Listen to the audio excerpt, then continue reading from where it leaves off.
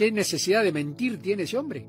Que ha tenido problemas tremendos, peleas al punto de terminar preso porque la gente se burlaba de él a partir de todos estos tipos que no pudieron ni siquiera descubrir qué pasaba a la vuelta de la casa, que no hubieran tenido los cojones que tuvieron estos muchachos de volar en esa cascarita de hierro, o de aluminio más bien.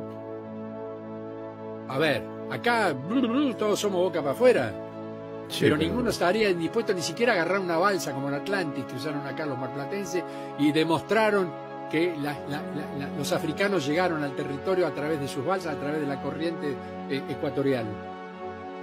Y, en vete a la luna. ¿eh? Perdón. vete a la luna con Y a la luna encima. Mm. ¿Qué estamos hablando?